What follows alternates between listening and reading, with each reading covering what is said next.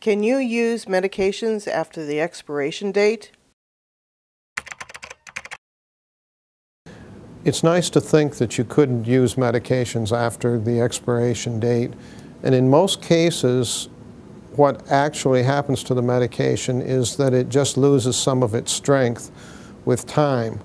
But there are enough medications that uh, would be dangerous to take past the expiration date uh, because they totally lose their potency. For example, insulin uh, would be extremely dangerous for a diabetic to take past its expiration date.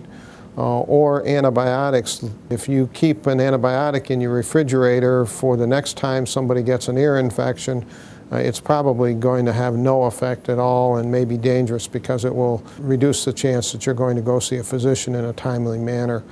There are also some medications, such as tetracyclines, that when they are expired have a greater risk of having side effects.